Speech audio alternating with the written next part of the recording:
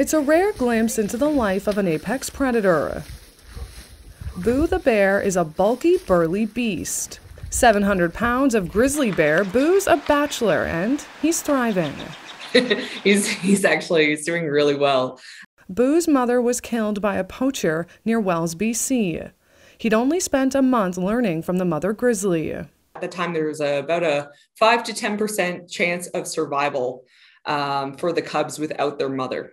Boo was brought here, and this bear refugee was created. Glorious grounds for a grizzly Goliath. We have such a large habitat. We're actually the world's largest grizzly bear enclosure. Um, eh, we've got uh, just about 20 acres.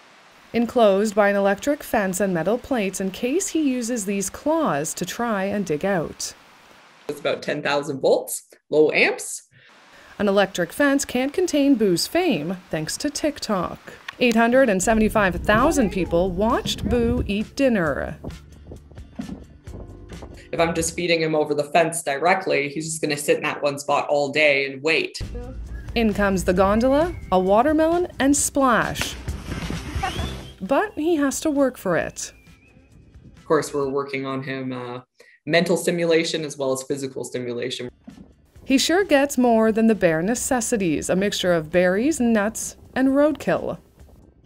They'll give us a call if there's anything that might have been hit on our highways, and uh, we'll go over there, we'll pick it up. And donations from locals. Uh, hunting scraps from local hunters in the area, you know, anything that they don't use.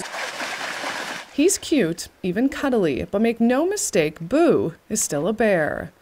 This playground lets him stay wild and survive.